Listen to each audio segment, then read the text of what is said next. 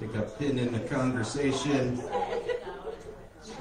and pick it up where you left off after.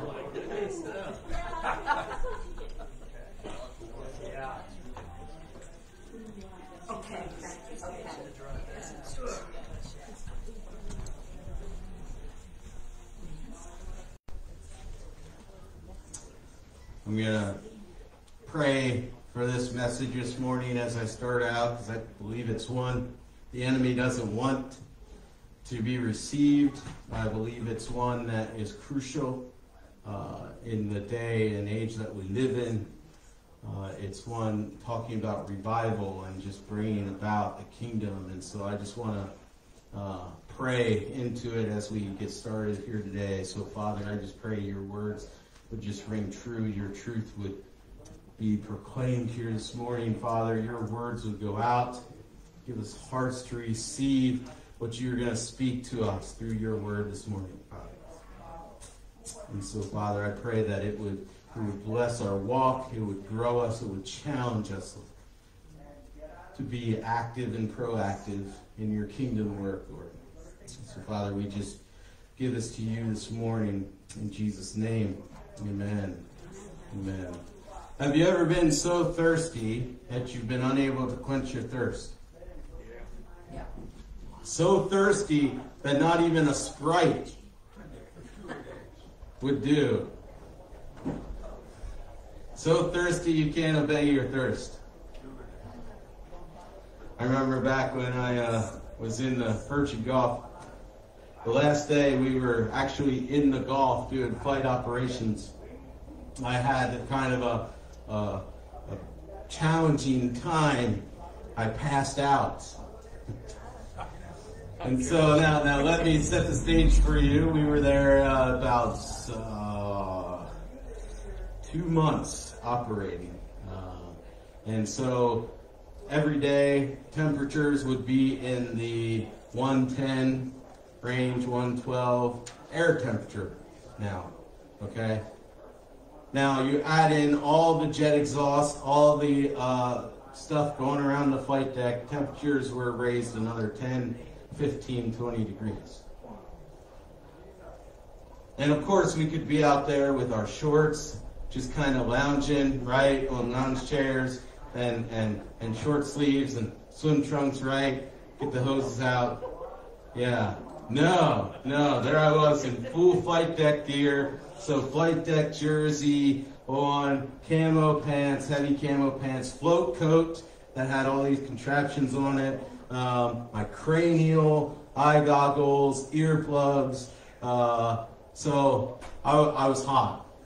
I was hot. Oh yeah, steel toe boots. So no flip flops. Uh, and then I had this uh, this little tiny CamelBak. It was about yay big, strapped to my back. Held about yeah, maybe a gallon of water. Uh, so my back was sweating constantly from this thing. And so I remember just that last day, I just could not be hydrated enough. And I went, took a break from, from the deck. I went down in and I passed out. Uh, and so I go down to sick bay, which is our medical unit. And uh, the corpsman hooks me up to this IV bag. And uh, this was basically the sound. Corpsman looks at me, wide-eyed. He's like, wow, I've never seen an IV go that quickly. Like literally, my body was that dry that it just sucked that thing up. And he's like, well, I got a problem.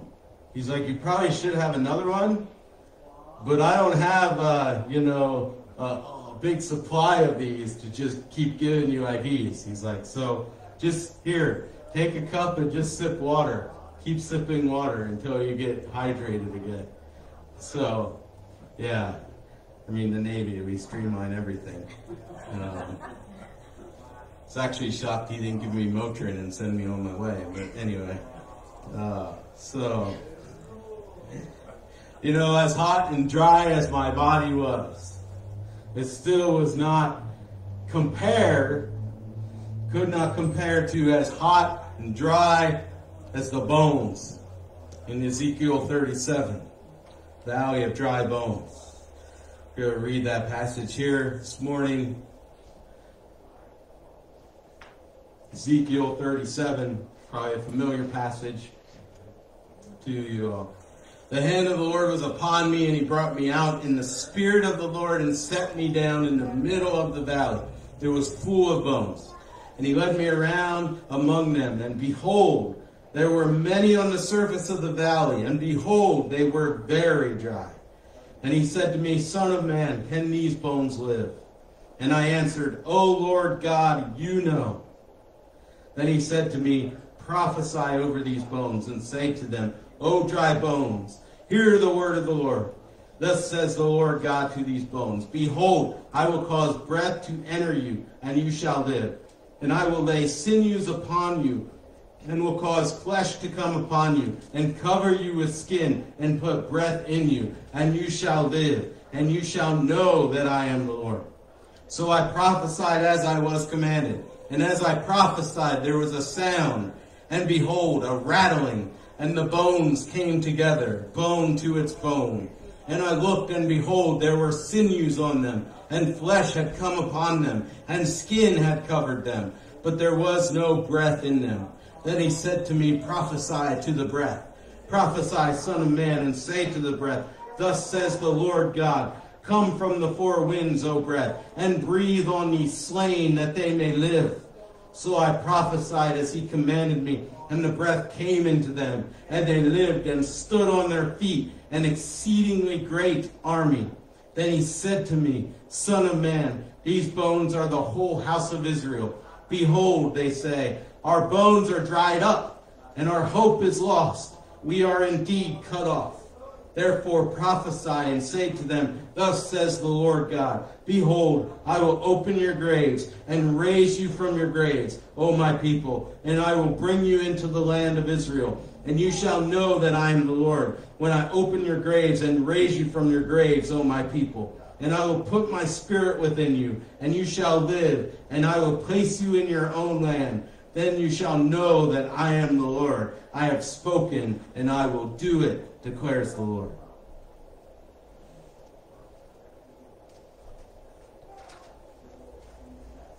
The context of this passage is, of course, that Israel's in captivity in Babylon, right? Due to their disobedience, their failure to uphold the commands and statutes of the Lord, God brought in uh, captivity, took them captive as a manner of disciplining them for their disobedience. And so this is a consequence of their actions. I know that's, that's terms we don't like to use these days, right? There's consequences for your actions. Now it's possible that these bones are actually remnants of Israel's army that went out against Babylon. Now, this is in direct correlation to what was prophesied in Deuteronomy 28 25 through 26. It says, The Lord will cause you to be defeated before your enemies. You shall go out one way against them and flee seven ways before them. And you shall be a horror to all the kingdoms of the earth. And your dead body shall be food for all the birds of the air, for the beasts of the earth. And there shall be no one to frighten them away. And then Jeremiah 34 20, And I will give them into the hand of their enemies and into the hand of those who seek their lives. Their dead bodies shall be food for the birds of the air and the beasts of the earth.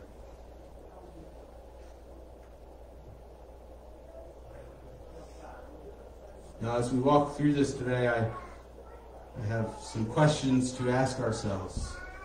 Five key questions to ask ourselves as we consider what this mean for us today in light of the world that we live in. Question number one. You might want to write these down as you pray throughout the week, journal, as you have your quiet time. This would be good questions. Review this passage in Ezekiel and ask yourself number one, how am I being led? How am I being led?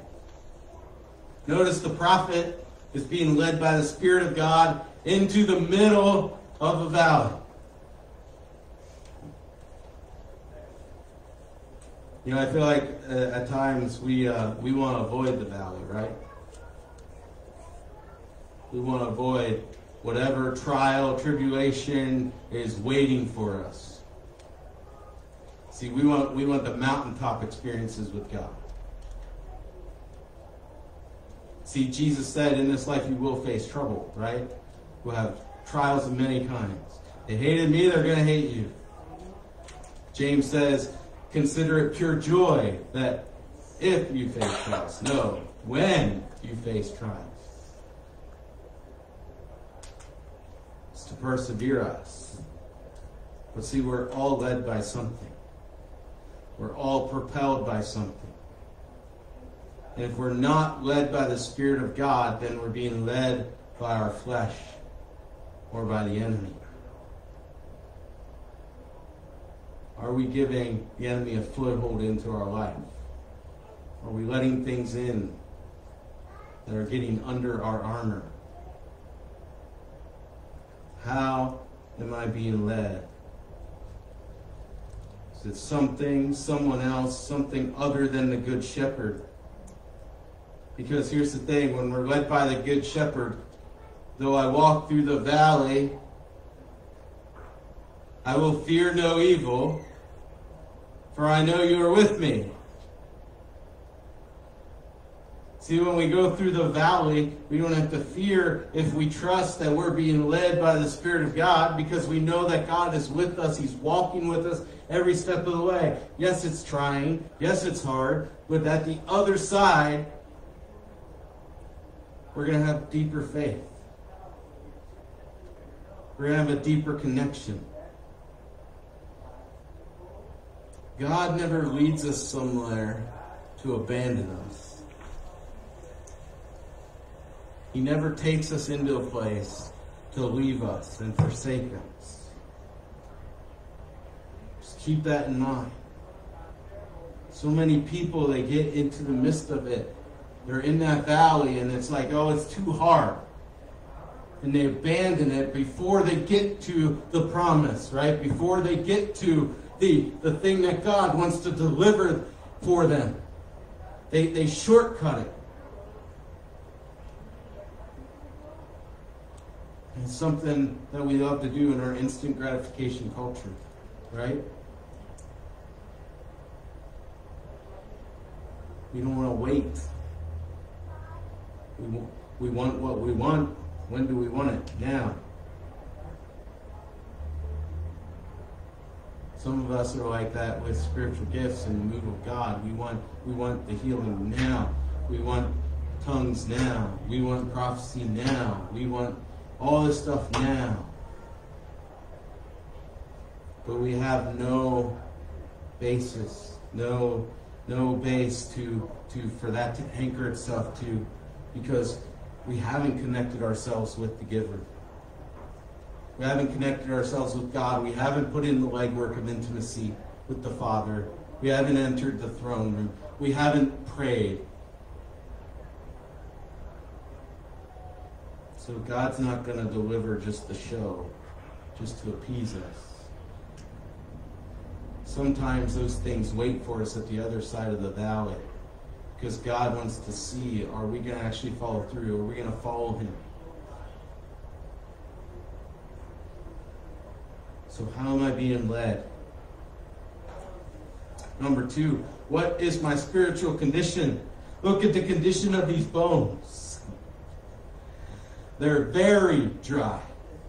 Not just little dry, very dry. The water's done been wrung out. All the flesh is off.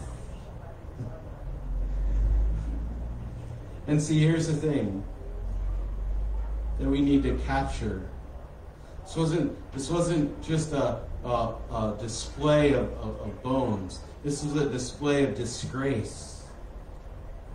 This was disgraceful and shameful to the nation of Israel to have their defeated army's bones out in open air just decomposing, where they weren't wrapped up.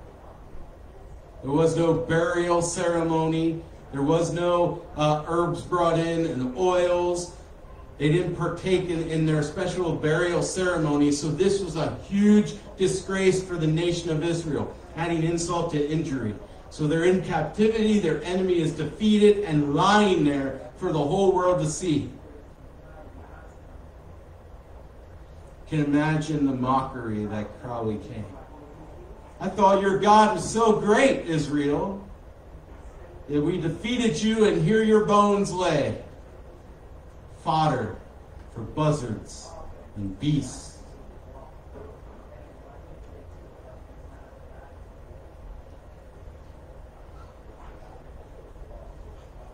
Verse 11 speaks more to their condition. Once they had life brought back into them, they speak, Our bones are dried up, our hope is lost, and we are cut off.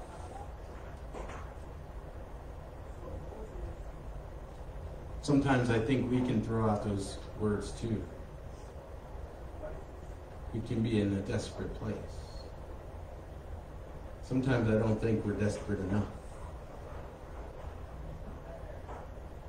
Sometimes I think we try to fix it on our own might and in our own way. And if you're there, then guess what? You're not dry enough. Your spiritual condition isn't desperate enough. Because when you get desperate, you get driven to your knees, you become humbled, and you're like, okay, God, I give up. I surrender. See, if you're not surrendering all, if you're not surrendering your bank account, your 401k, if you're not surrendering your comfort, if you're not surrendering uh, just your daily life, your habits, then your spiritual condition is dry. Not dry enough.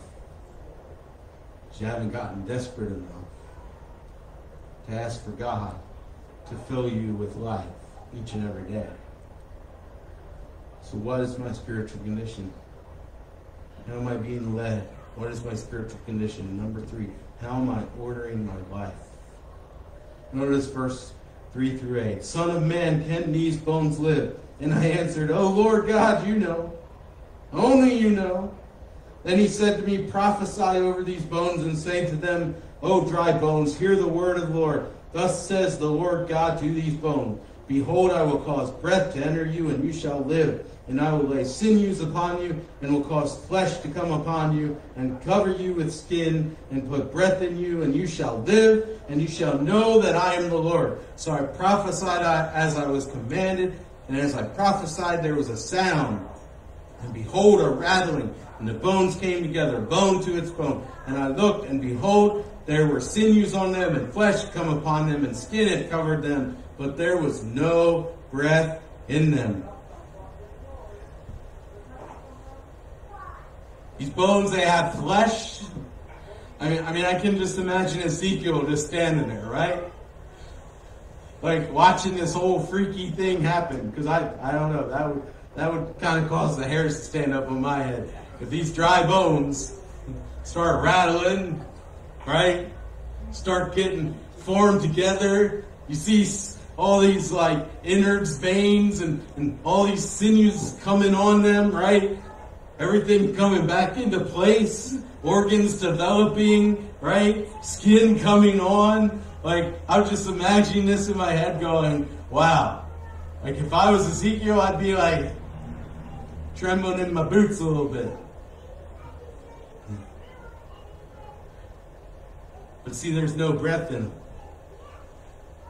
There's no breath. See, we can organize our lives around our calendars. We can organize our lives around our hobbies. We can organize our, our lives around pretty much anything. We can go to programs. We can go to Bible studies, prayer meetings, even. We can orient our whole lives around a certain schedule. But at the end of the day, we'll just have organization and order. Now, don't get me wrong, organization and order are good. We serve a God of organization and order.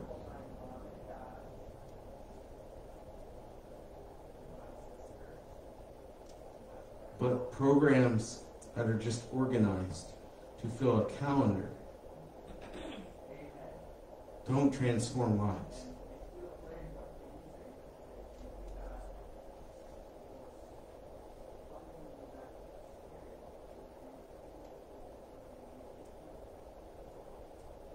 I know people that culturally they were Christian. They were in churches growing up as many times as the church was open.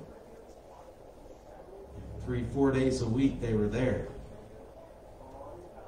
There was nothing beneath the surface, and the moment that they faced any kind of troubling thing, they were ready to abandon it because there was no substance there. There was no life. There was just the organization.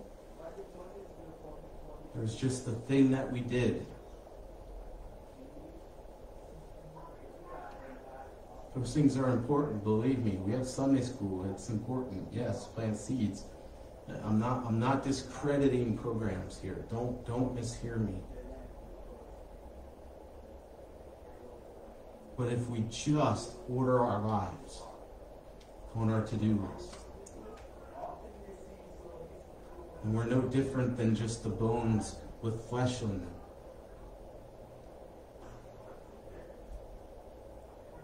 We have to get to the next step. Number four. Am I living a life full of the Holy Spirit? Son of man, can these bones live? And I answered, Oh Lord God, you know.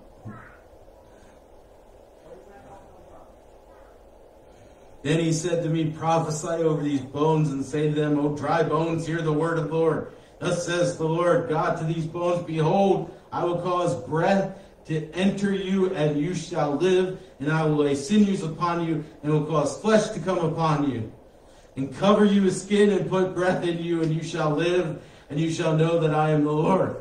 Now, this breath, this word for breath, ruah, in the Hebrew, it's the same word for spirit, for Holy Spirit. Same word we see in Genesis, where the Spirit of God was hovering over creation. Because we know, we know that the full Trinity was active in Genesis, right? It wasn't like, oh, the Holy Spirit just came in New Testament, right? No. We see the work of the entire triune God throughout the entire redemptive story.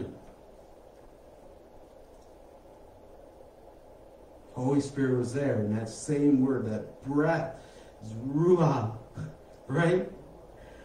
Now, the bones are alive, right? They have skin. They have skin. And so here it is, verse 9. Verse 9.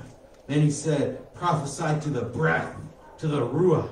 Prophesy, Son of Man, and say to that breath, Thus says the Lord God, Come from the four winds. Oh, breathe and breathe on these slain that they may live. So I prophesied as he commanded me, and the breath came into them, and they lived and stood on their feet, an exceedingly great army.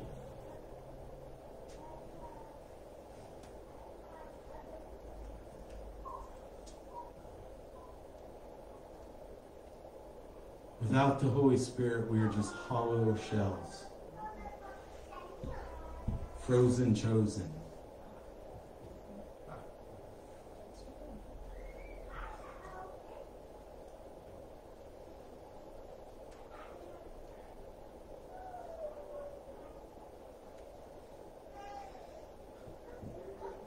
See, the Holy Spirit is what supplies the power, the life, the very breath of God.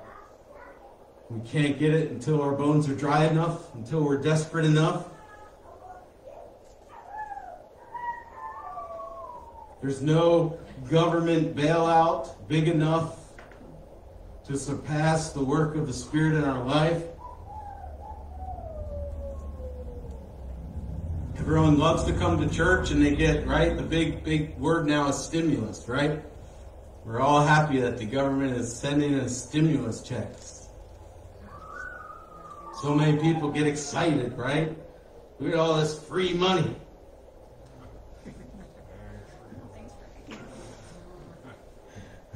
I learned a long time ago there's no such thing as a free lunch. right? When people come to church, they want a stimulus package. They want to be stimulated in their emotions. They want to feel good, right? They want to know how to raise happy kids. They want to know how to be blessed in their bank account. They want to know all this stuff, right?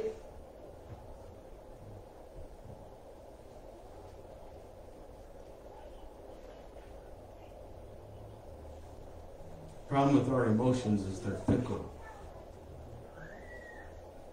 Yes, we acknowledge them because our Creator God gave them to us. But we cannot live by them because they will lead us astray. Holy Spirit is there to give us life.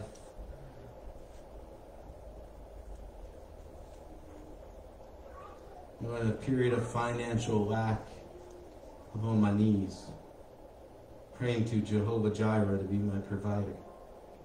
In a period of financial blessing, I'm on my knees, praying to Jehovah Jireh to continue to be my provider.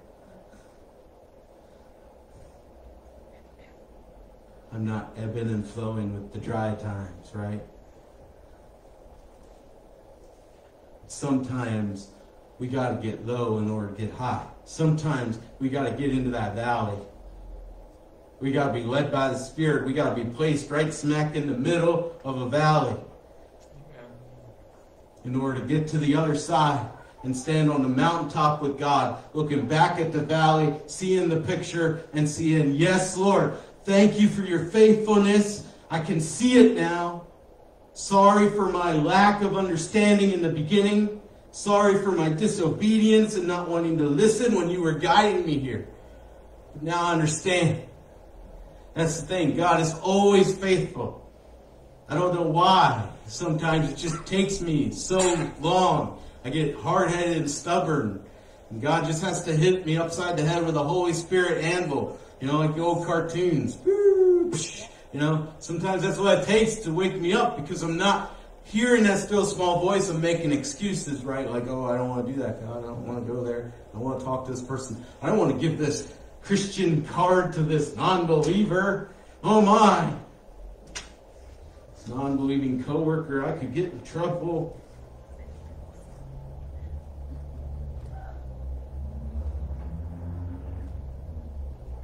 Am I living a full life full of the Holy Spirit? You know, Jesus says in John 10:10, 10, 10, I've come so that you may have life, life to the fullest.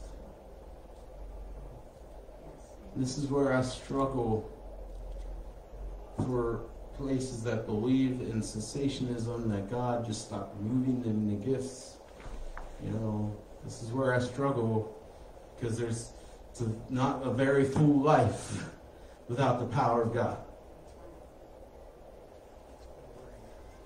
It becomes the bones without the life. Becomes the sinews, the, the, the skin covered skeleton without the breath. And it's an incomplete life.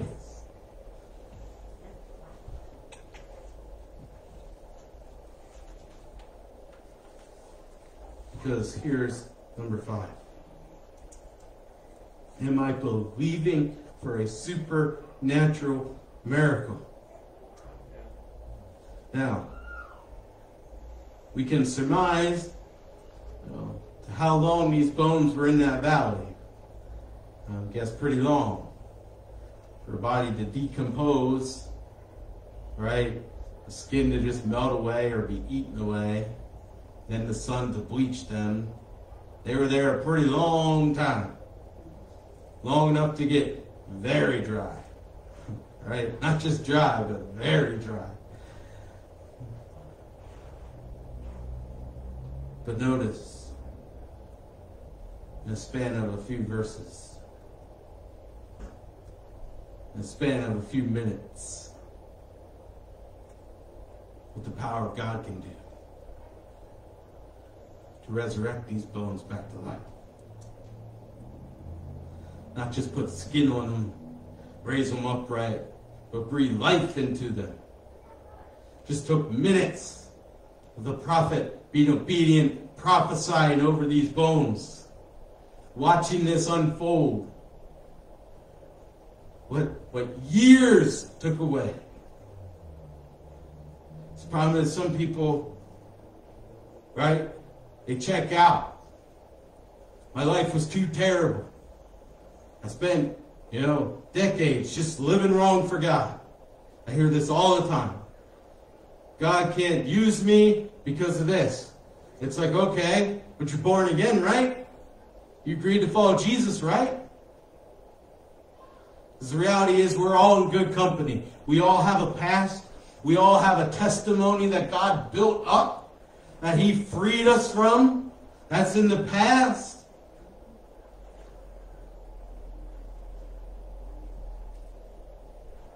Paul held the coats of the Pharisees and the Sadducees as they stoned Stephen.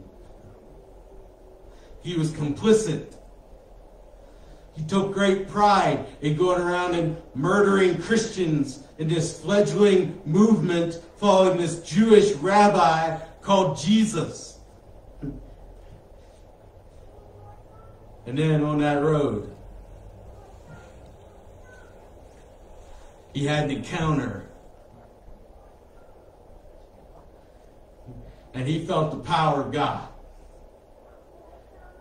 And in an instant, Saul became Paul, the greatest missionary ever on the face of the earth, the author of the majority of the New Testament, three missionary journeys, boldness in proclaiming the gospel.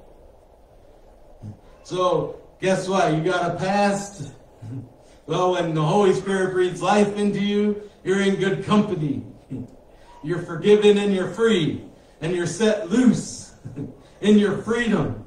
Not to abuse it, not to go back to your passage of sin, but to go out, be an ambassador, and say, look what my God has done. Now, I'm not denouncing programs, counseling programs. I'm a trained counselor. Believe me, I'm not going to stand up here and denounce that stuff. Because yes, God can set you free in an instant, but there's still some lingering stuff you got to shore up. So yes, seek counseling from a professional. Not, not at all coming against that. Sometimes I feel like we can get too wrapped up in that stuff. But we forget that we serve a supernatural God who moves in supernatural ways, who can bring supernatural miracles in an instant to bring dry bones back to life. And so if you're sitting here in a dry spiritual condition, and you're thinking, oh, it's going to take weeks for me to make up all of these Bible study videos I missed. It's going to take weeks to get back on track in my daily reading plan. it's going to take weeks to get where I need to be with God. It's going to get years to get cleaned up. Can I remind you of some dry bones? That in an instant, they were prophesied over the word of truth and breathed life into them. And they came back in an instant because it's the power of God. Am I believing for God to move in a supernatural way? Or am I just following a man made formula?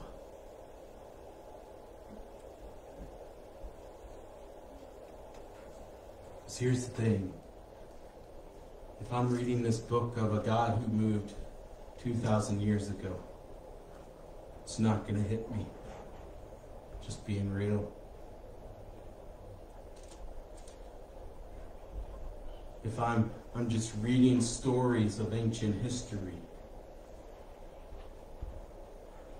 it's not going to mean much to my life now. But if I'm reading the very anointed, power filled words of God that tell the redemptive story of his son, Jesus, who came to the cross, who died for our sins so that we might be free, who was raised from the dead so that we might have life. And then he leaves us what? The Holy Spirit. So we can live a full life. Exceedingly abundantly more than we could ever ask or imagine. Exceedingly abundantly more isn't me just sitting in a chair week after week, listening to a speaker, reading a book a few times a day, and just waiting for Jesus to come back Does that sound like a good Christian life to you? A couple weeks ago, you heard Brian Stevenson talk about an adventure, everyday adventure with God. You know, it stuck with me.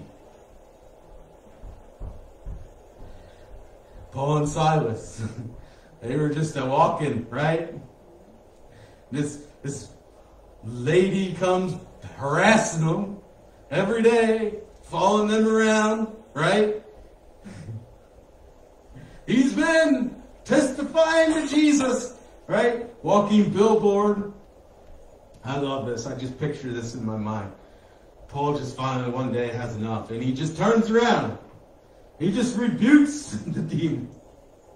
Calls it out right there on the spot. Just an ordinary day in the life of Paul. That's power. That's power. Or how about the guy that was falling asleep? Uh, you know, Paul was preaching. Not that any of you would do this. Fortunately, we don't sit up high here. But he falls right out the window, right? Dead. Boom. Paul just, well, okay, goes out, raises him right there, back to life. It's power. Power.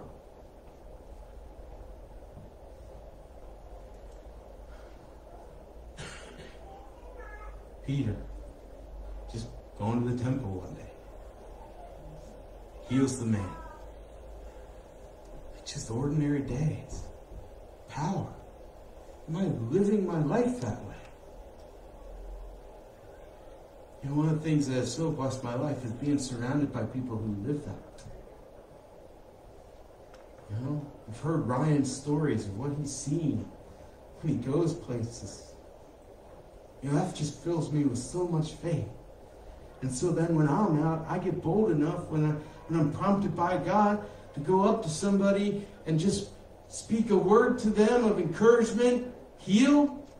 God calls me to that. See, that's, that's what it is, church. Some of us, we got to get some flesh and breath into these dry bones. Some of us got to get desperate enough to receive that from God. Some of us got to stop looking to the government, the political party to be our rescuer. Because it's got to be a move of God. It's got to be a revival in this country. It starts with our hearts. If the church is just walking around, if, if people come in and they just see a valley of dry bones whenever they come into our churches, they're going to be like, well, I guess the answer doesn't lie with Jesus. So I want, I want them, I want people to come to Oasis to see the life, to see the Ruah, Holy Spirit, living, active, breathing out, overflowing.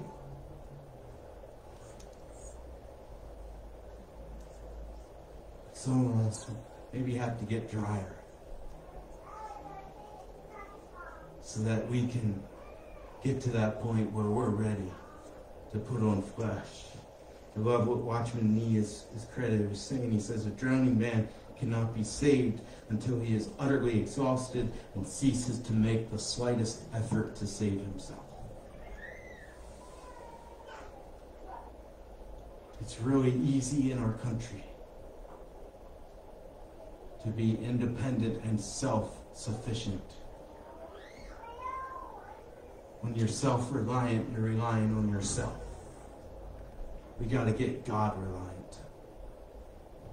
It's the only way. We can live our lives according to our plans, our efforts, our calendars. But that's the thing. Then we wind up with our consequences.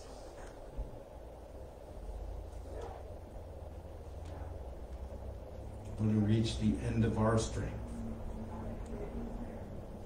when we become dry enough, find God there, waiting to replenish us, restore us, reconcile us, regenerate us, renew us, fill us with a purpose and a passion to go out then and represent his life to a desperate, dry world out there.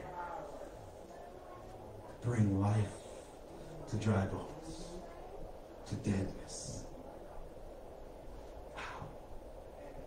May it be God. Father, I pray we take these questions to heart and we would have a heart to heart with you, Holy Spirit. And Lord, we would not just sugarcoat things, but we would actually listen for not the things we want to hear, but the truth of where we are with you. May we give a reasonable assessment, Lord.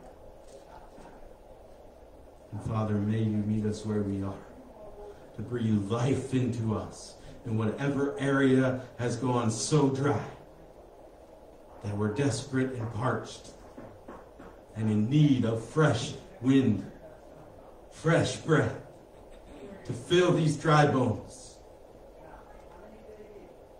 Lord, I pray for new ministry seeds to be planted here today. Lord, I pray for hearts to receive visions of what you have ready, waiting. You're just simply patiently waiting for our readiness, for us to be dry enough to receive it.